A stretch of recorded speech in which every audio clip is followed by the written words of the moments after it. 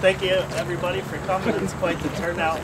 Um, we're excited to bring a new building up to Hugo here. We've been in the community for almost 12 years and it's been great giving back to the community, get involved in the community.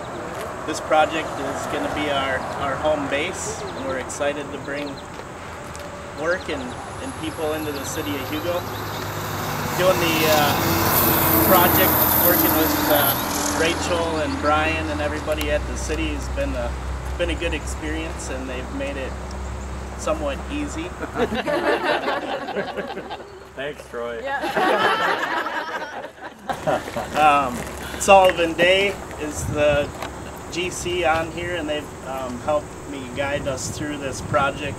Um, this is our first out of six shops that we have. This is our first ground up shop, and um, it's been a great, fun experience so far. Coma did an excellent job of designing the building. We made a lot of changes from start to finish, and it's it's going to turn out good. Um,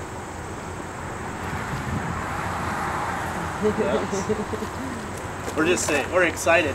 Um, my whole crew for Hugo is up here supporting us. Some guys are all excited to get out of a three bay hole in the wall shop. so,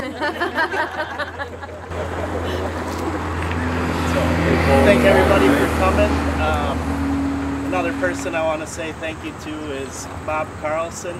He's helped me grow with uh, one to or two shops to six shops and got me in line with with all these guys here to make this thing possible. So thank you. Congratulations.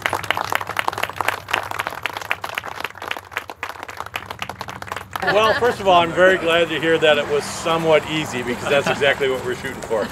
Easy is too easy. Somewhat easy is perfect. Uh, I want to congratulate TGK for their uh, success and their growth, and I'm really excited to see them expand in the city of Hugo.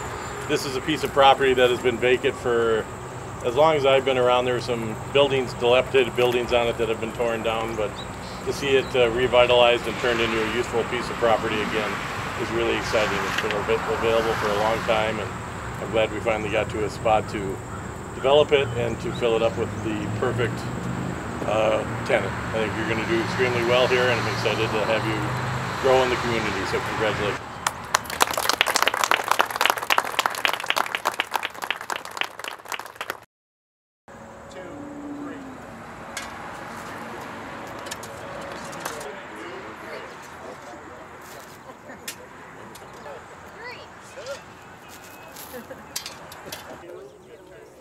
One,